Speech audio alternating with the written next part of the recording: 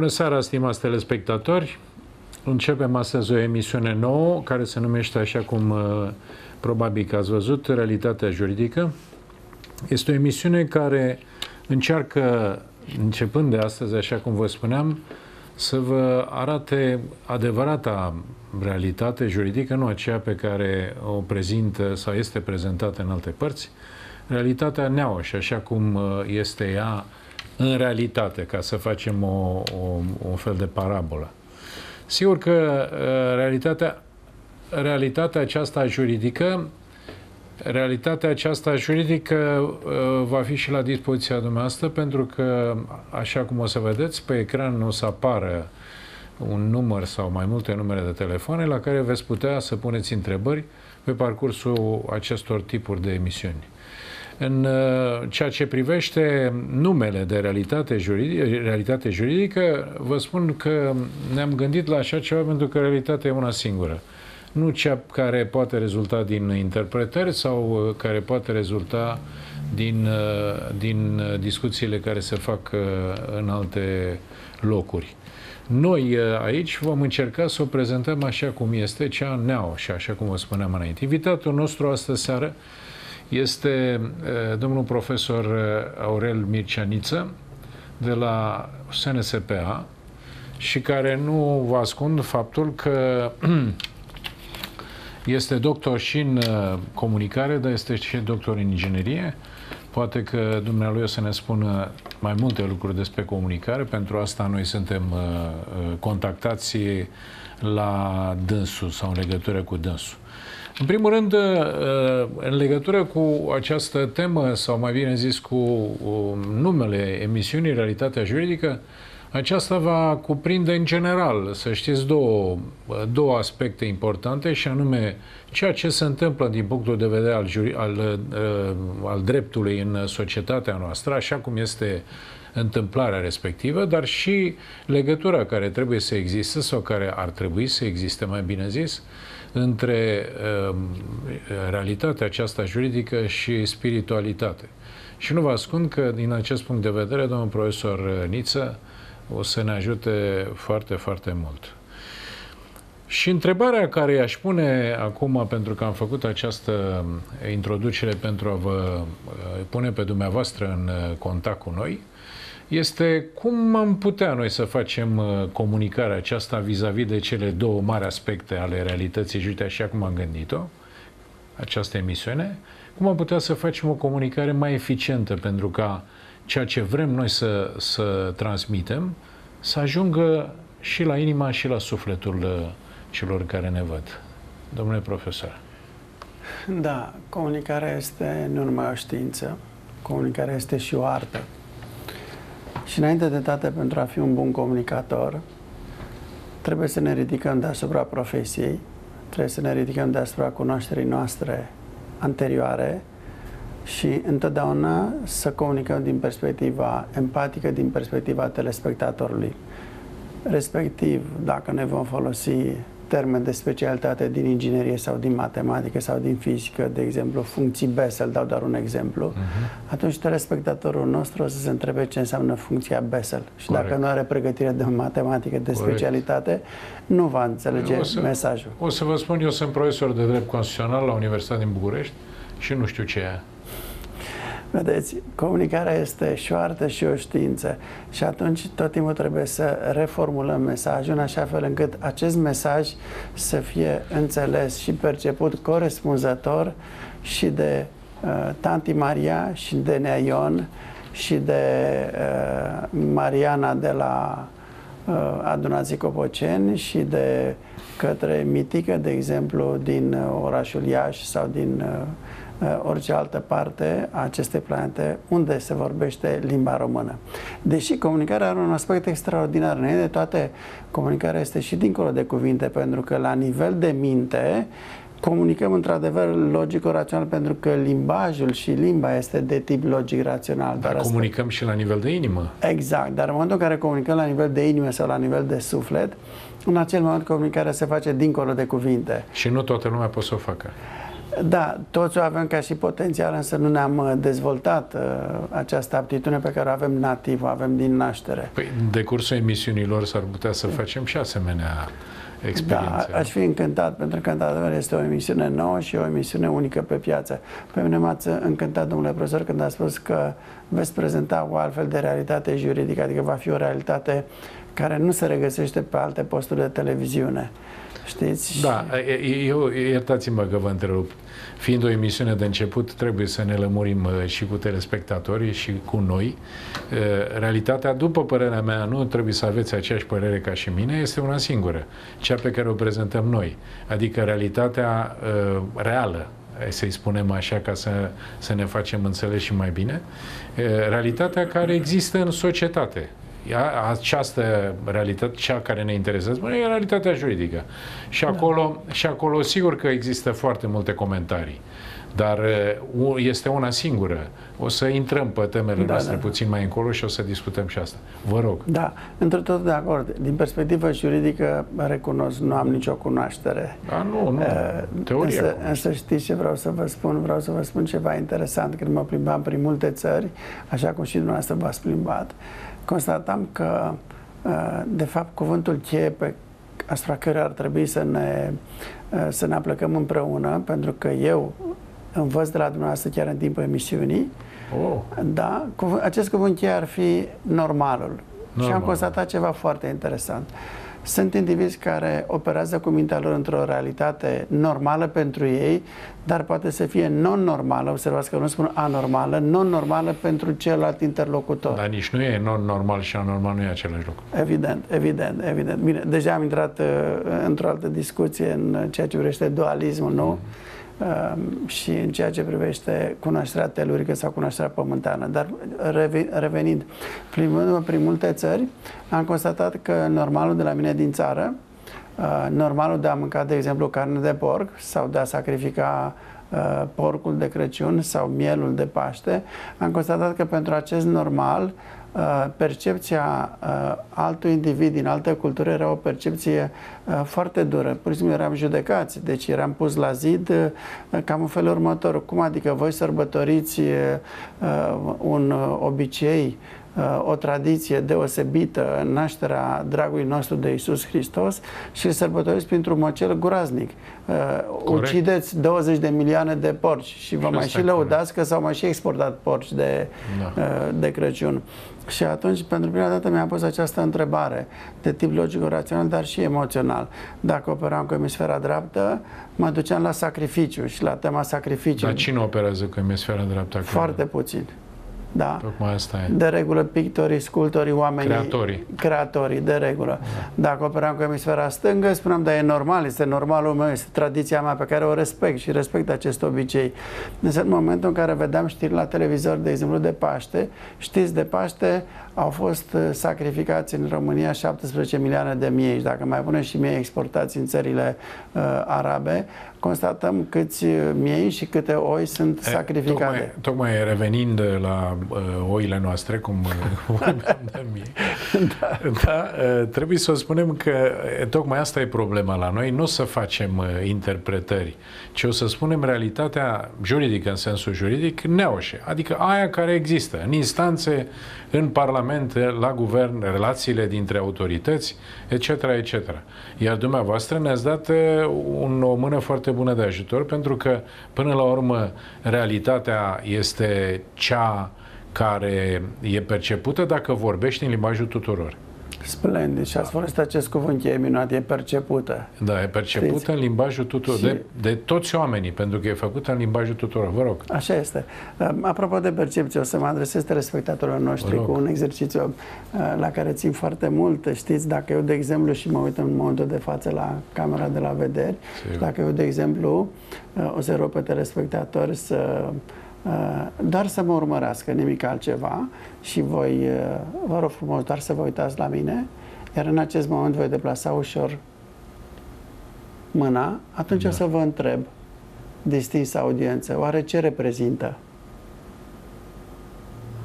E bine, partea frumoasă și interesantă este că foarte mulți dintre dumneavoastră îmi veți spune că reprezintă un pix. Iar eu o să vă întreb, dar de ce nu ați ales, de exemplu, un bărbat cu barbă care are un tricou roșu și care se uită către dumneavoastră și ați ales totuși un pix.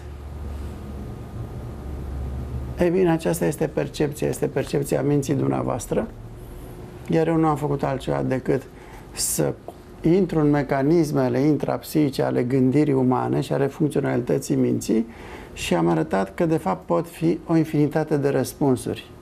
Pentru că dumneavoastră putea să alegeți, de exemplu, da, un bărbat cu două mâini sprijinite de masă și își mișcă o mână către dreapta și dumneavoastră ați ales pixul.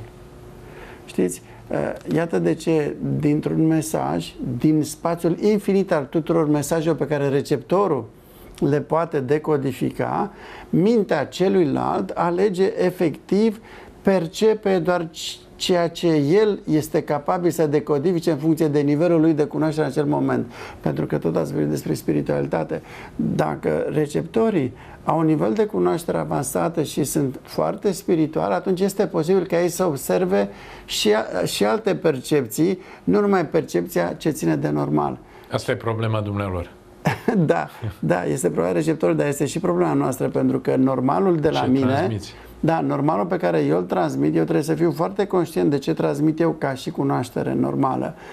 Um, mă uitam frumos de tot, uh, mă dau un exemple consacrate, eram în, uh, nu, în țările uh, arabe și reacția non-culturală a unor turiști care vizitau o țară arabă și mergeau în deșert, inclusiv compatrioți de-ai mei, cum reacționează românul? Se uita așa, uite, uite și oamenii aceștia nu mănâncă carne de porc mm-hmm. și se uitau așa superior, adică noi mâncăm din România carne de porc, dar voi din deșert. țările arabe, dar din deșert nu mâncați carne de porc, știți? Dar de fapt era problema egoului și aici o să vă provoc eu, domnule profesor. Mai la sfârșit un pic, pentru că intrăm puțin în teme, da. pe mine m-a interesat uh, principalul argument pe care le avem noi pentru a susține modul de, nostru de a comunica uh, în ceea ce privește realitatea juridică. Da, da. Adică uh, dumneavoastră considerați că noi ar trebui să vorbim la, pe limbajul tuturor, să nu începem să vorbim latinește pe aici sau în alte modalități, exact. pentru că exact. altfel nu se poate înțelege. Sau vorbim uh, științific și folosim termenii de specialitate ai dumneavoastră, pentru că stai dumneavoastră este acumularea dumneavoastră extraordinară și vin și din limba latină și da, dar știți? imediat trebuie tradus, imediat trebuie decodificați corespunzător pentru cineva care nu are această da, cunoaștere. Le spun telespectatorilor acum o chestiune interesantă și anume tradițiunea lucrului în drept nu înseamnă tradiția care, de care se vorbește în limbajul comun. Tradiția lucrului, ca un exemplu și intrăm după aceea în teme, este de fapt un transfer al dreptului de proprietate asupra unui lucru de la o persoană la alta.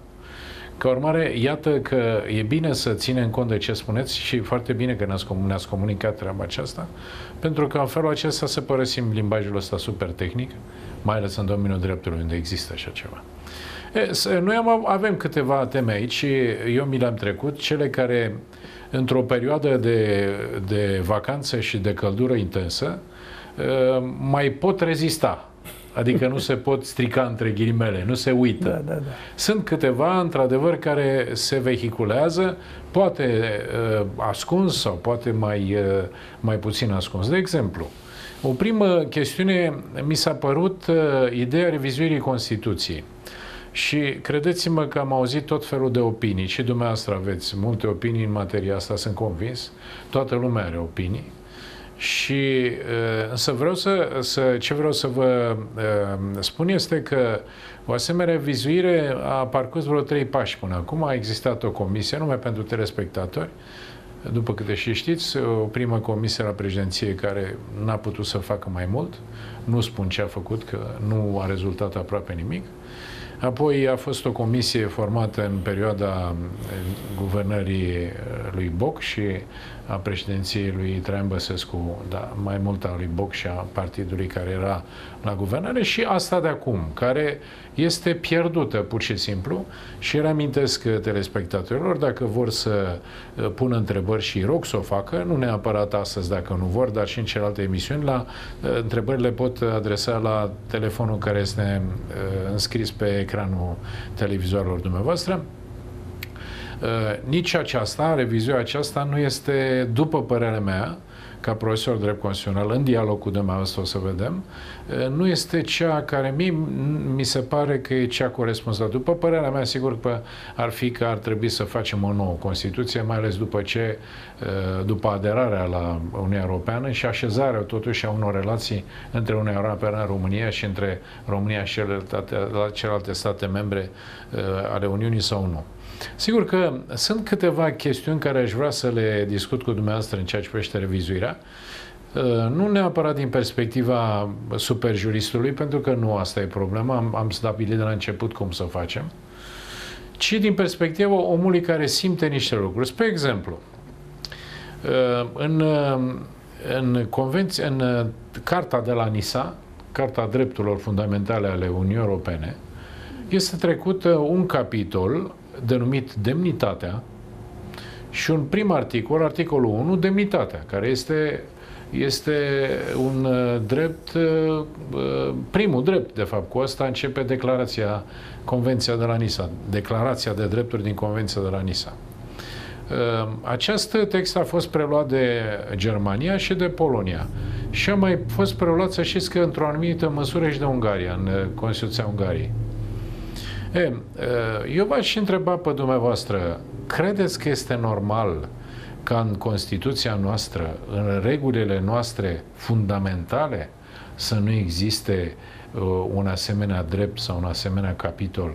Credeți, și asta e a doua întrebare, uh, că o asemenea atitudine care uh, o au parlamentarii sau cei care întocmesc proiectul de Constituție, de a ignora total un asemenea drept prevăzut într-o cartă de drepturi fundamentale uh, care ni se aplică și nouă. Credeți că este normal ca uh, în momentul de față în Constituție să nu se, nici nu, să nu se gândească de un asemenea drept, ci să rămână o valoare din articolul 1 din Constituție, cum există și în alte state de altfel, ca valori. Credeți așa ceva? Credeți că ar fi bine să existe sau ar fi bine să nu existe o, un drept la demnitate? Efectele lipsei respective se văd în societate? Da, eu nu pot să vin decât cu percepția mea, nu, Normal. Cu, nu cu percepția unui de specialitate. Normal. Uh, și atunci intru efectiv în semnificația și în sensul cuvântului Normal. demnitate, demnitar. Normal. Știți? Uh, cred că la un moment dat uh, legile noastre, din cât de mult cunosc eu, mai degrabă pun în evidență ideea de demnitar și se confundă demnitarul cu demnitatea. Foarte rău. Știți? Cred. Nu au nicio legătură. Evident. Dar, vedeți, poporul român trebuie înainte de toate să își recapete demnitatea națională. Pentru că această demnitate, într-un fel, este știrbită, pentru că pur și simplu poporul român nu este educat nu este informat, el este educat, fiecare cu nivelul lui de cultură, cu nivelul lui de instrucție, cu nivelul lui de cunoaștere, de aptitudini, de fiecare cu competențele lui.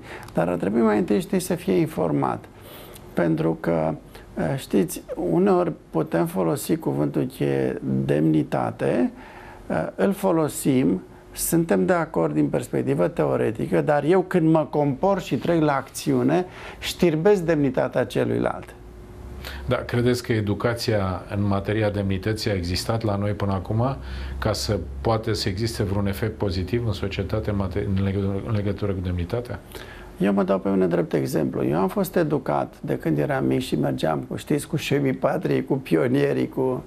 Deci eu am fost educat uh, într-o anumită demnitate a, a românului. Eu am fost educat de părinții mei. Și în tot ceea ce am învățat eu, că învățam uh, din uh, scrierile, din marii noștri scriitori, uh, mi se dădeau exemple, exemple ale țăranului român plin de demnitate. Chiar dacă era umilit, era umilit, dar el putea să-și expună cu demnitate opinia. Știți? Eu constat, domnule profesor, că această lipsă de educație este generată de lipsa unui text corespunzător și sigur că el se și observă în societate în ceea ce privește relațiile interumane. Sigur că va trebui să luăm uh, un pic de pauză în câteva minute, dar uh, putem, mai avem câteva minute în care să vă spun că și părerea mea este la fel, toți am fost, sau mă rog, oamenii de, de vârsta noastră și ceilalți, sigur, dar în mod special noi am fost uh, instruiți în, în ideea de demnitate, de respectarea demnității, ceea ce nu prea mai văd astăzi, să știți. Mi-e, mi-e foarte greu să recunosc, dar lipsa textului ăla, repet, este esențial, este foarte, foarte, foarte negativ da. un asemenea... Dacă îmi permiteți da. să vă completez un pic apropo de demnitate mă urc în metrou și da. ce constat acolo? O secundă, luăm un, un moment de pauză și după aceea continuăm. Vă mulțumesc. Da.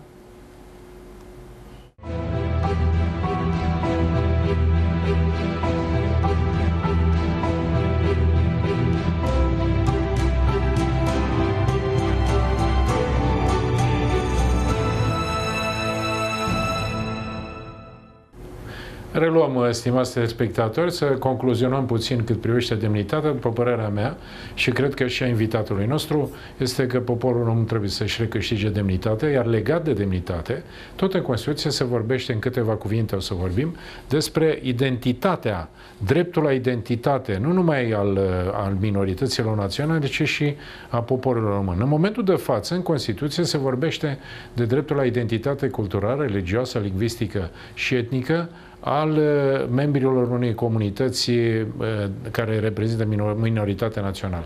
Nu se șoptește un cuvânt despre majoritatea formată din uh, cetățenii români. Și mie mi se pare, și cred că în doctrină s-a cam explicat acest lucru, că există o anumită discriminare din acest punct de vedere. Proiectul de revizuire a Constituției însă nu șoptește niciun cuvânt, nicio, nu există nicio șoaptă, nicio vorbă în legătură cu dreptul la identitate și l-aș întreba al cetățenilor de, de origine română, de naționalitate română. Și l-aș întreba pe domnul profesor despre părerea dânsului cât privește o asemenea stare de lucruri. Scurt. În... Da. Înainte de dată aș vrea să vă spun că dacă nu ai identitate, faci umbră degeaba pământului.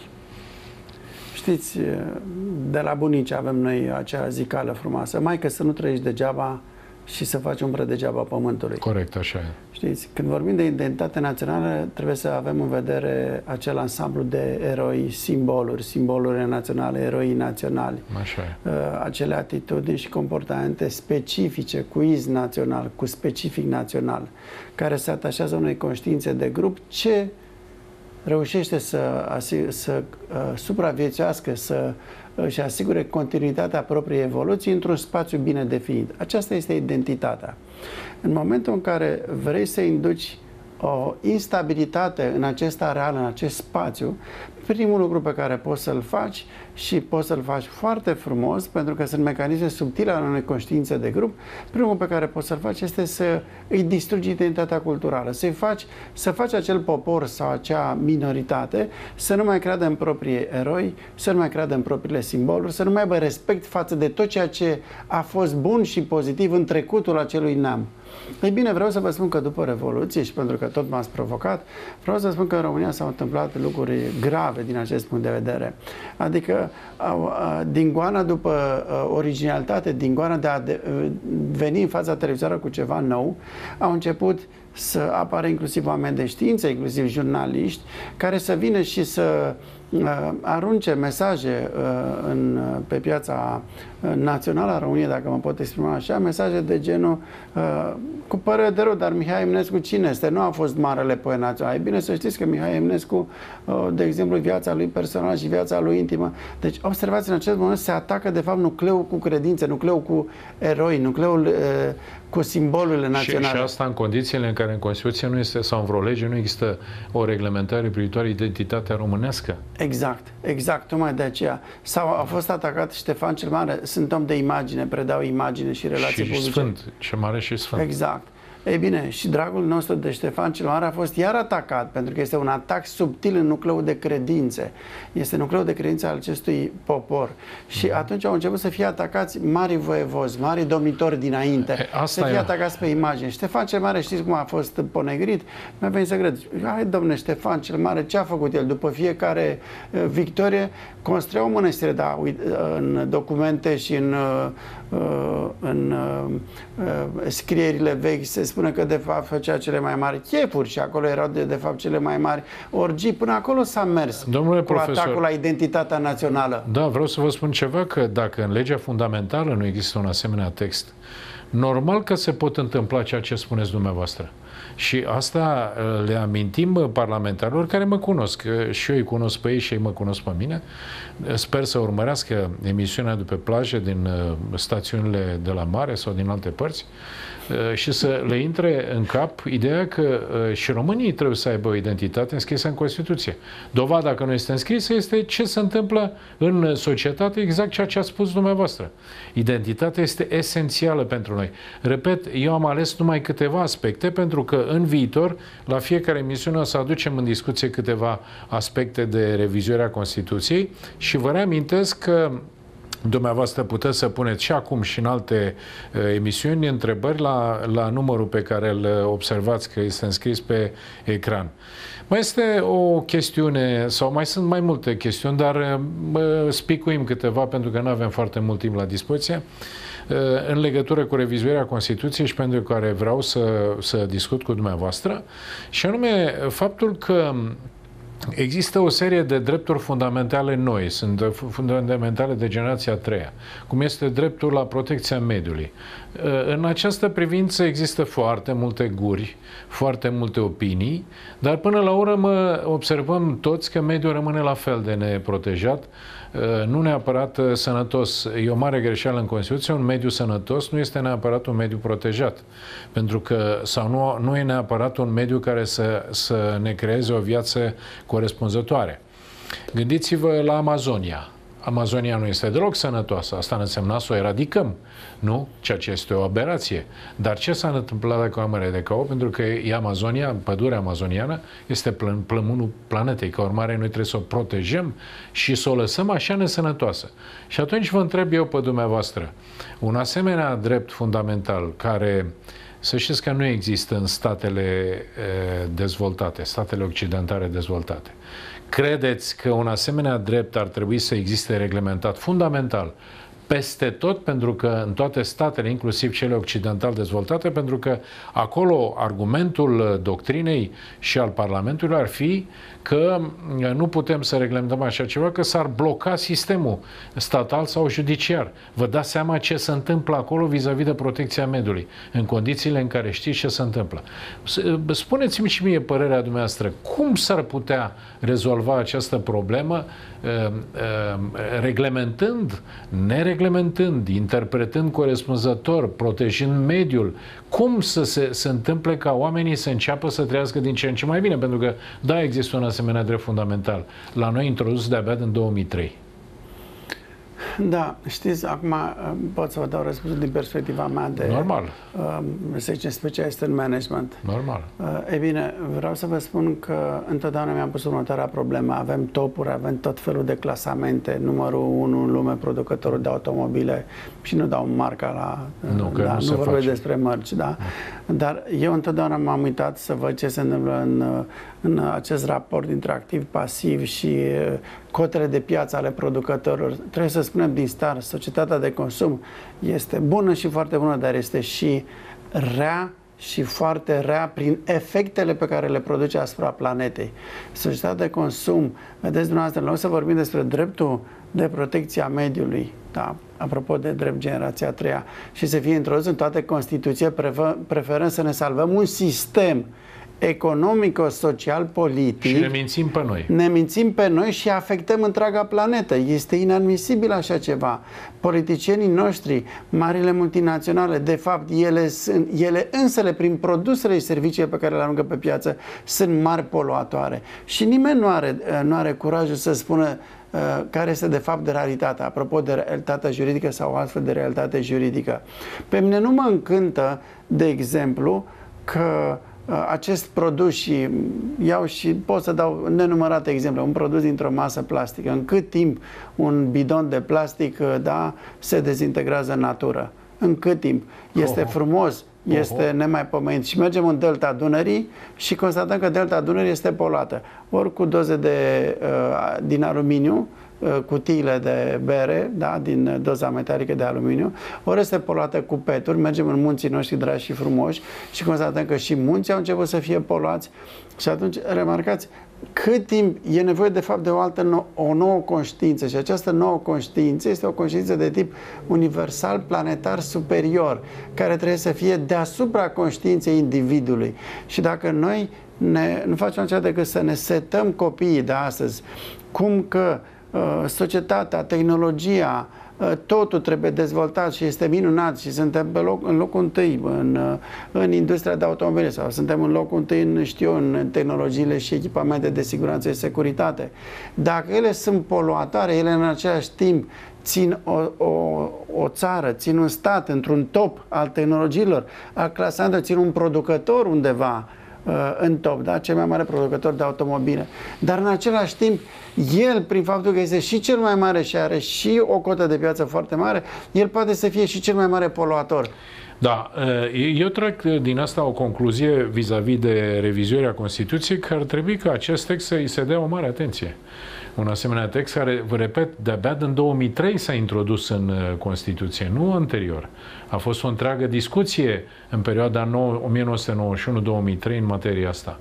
Și în sfârșit uh, s-a reușit. Sper că o să mai revenim asupra subiectului și ultima chestiune de la revizuirea Constituției este una destul de complicată, dar pe care am vrea să o, exprimă, să o explicăm uh, în limbajul tuturor, în sensul că procedura legislativă este o mare gafă. Este o mare problemă în România, problemă care a generat gândirea fostului președinte, în sensul că, în mod normal, datorită acestei gafe uh, procedurale, legislative, ar trebui să avem o singură cameră și nu două să vă dau numai câteva, câteva cuvinte, în câteva minute, pentru că nu mai avem foarte mult de, de discutat. Ehm, ehm, în procedura aceasta deci, a Camerei Decizionale e preluată din Constituția Germaniei, care a, a exportat o asemenea procedură și în Spania.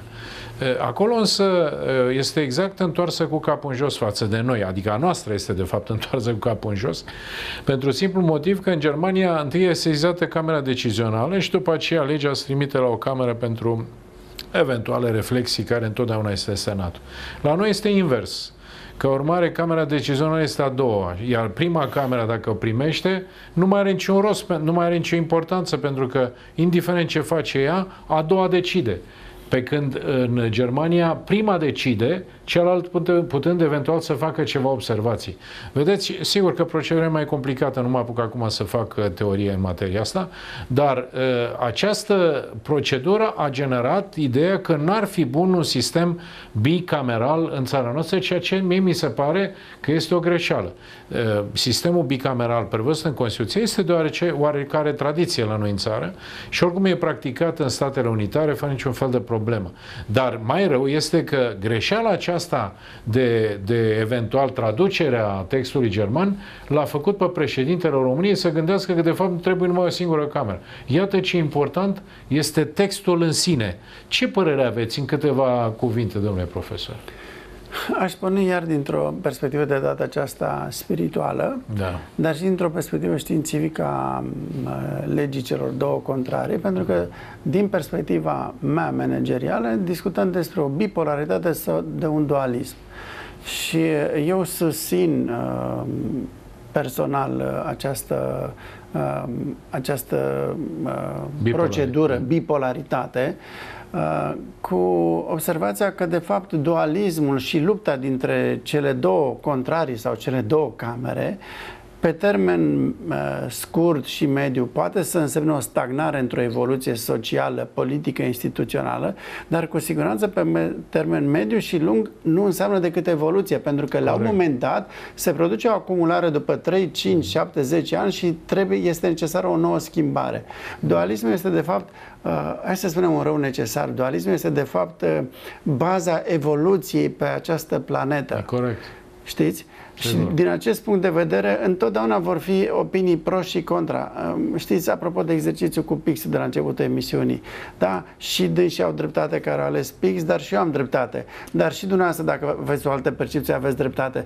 Problema în sine, cred că este problema Eficienței. inteligenței și a eficienței. Eficienței. Și a înțelepciunii. Cât de înțelepte sunt cele două camere?